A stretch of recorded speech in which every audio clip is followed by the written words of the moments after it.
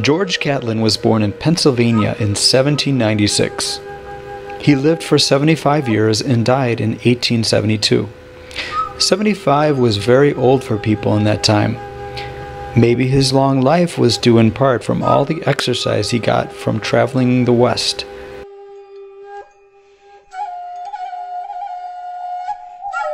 Here is his story.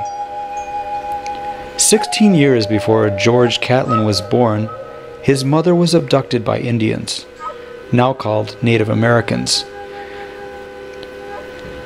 George loved the stories his mother would tell him about her time in captivity. George's father was a lawyer. George initially became a lawyer too. However, two or three years into his career, he decided he didn't like being a lawyer.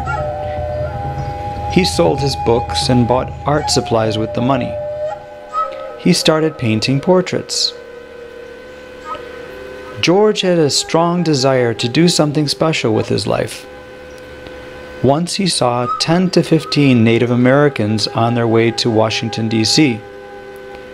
He was fascinated by their proud, stoic faces and their fancy costumes he decided to spend the rest of his life traveling around the country, painting the people of various Native American tribes.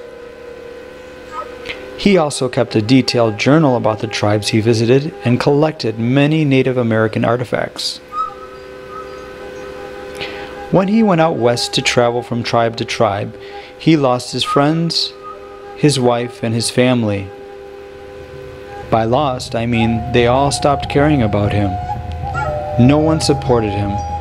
No one thought what he was doing was a good idea. But George Catlin felt driven to record the history of the Native Americans before they were wiped out by the white man. He visited 55 tribes, two thirds of those in existence at that time. He had to work quickly on each painting before his subjects tired of posing. First, he would paint the chief of each tribe. To do otherwise would have been disrespectful. Some chiefs would not let him paint them at all. After painting the chief, if the chief allowed it, George would paint other people in the tribes. He painted the men, the women, the children. He painted and wrote about their customs, ceremonies, clothings, artifacts, weapons, and daily lives. Some chiefs couldn't understand why George would want to paint the squaws, or the women, because they thought that they were insignificant or not important. People of that time thought Native Americans were very different from them. They thought were they were kind of savage-like. Thanks to George Catlin and his paintings and journals, people discovered that the Native Americans were not so different. They were happy and friendly, they were warm and filled with wisdom. They love their children just like we do. George Catlin is the reason that we know so much about Native Americans today.